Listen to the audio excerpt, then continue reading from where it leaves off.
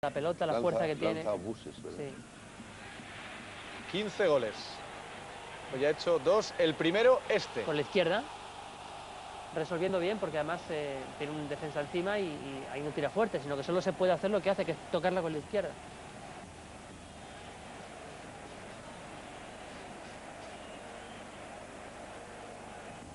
Con tres